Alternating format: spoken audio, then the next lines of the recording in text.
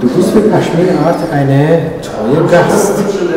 Was äh, bewegt dich denn eigentlich auch, äh, dass du denn immer zu unserem Programm, zu unserer Galerie kommst? Neugier.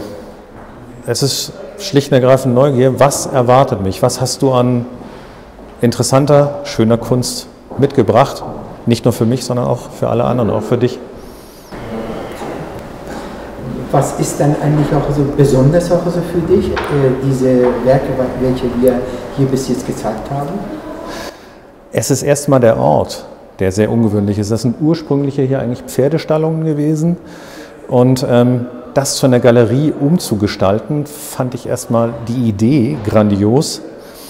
Und wie gesagt, ich lasse mich jedes Mal überraschen, was da auf mich zukommt an Werken. Sei es die Werke hier vom Daniel beispielsweise, die teilweise in einer Dauerausstellung sind, oder eben die neuen Werke, wie jetzt von der Frau Donner oder dem Herrn Hagier oder von der Frau Serazin.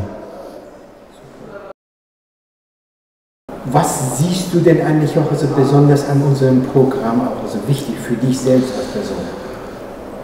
Immer was Neues entdecken zu können. Ähm, kunsttheoretisch bin ich nicht sehr bewandert, ist mir aber nicht wichtig. Ähm, entweder es gefällt mir etwas oder es gefällt mir nicht und manches ist vielleicht sogar eine kleine Inspiration für mich, was ähm, Neues auszuprobieren. Sehr interessant. Malst du auch, was du denn gesagt hast? Ähm, ich im ganz Kleinen. Ähm, ich gestalte für meine Kinder Weihnachtskarten. Ich habe gehört, dass deine Vorfahren Künstler waren.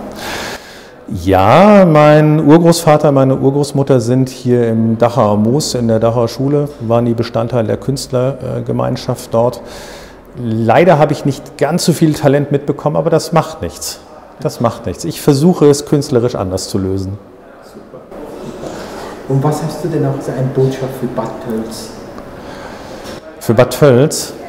Ich kann eigentlich nur jeden Tölzer herzlich einladen, die Galerie zu besuchen und einen Moment der Stille hier genießen zu können und gleichzeitig äh, sich auf die Werke, die hier jedes Mal zu sehen sind, einzulassen, sich beispielsweise hier fallen zu lassen. Es, also mir gefällt das einfach, ich finde das schön. Dann wir werden dich noch mehr überraschen.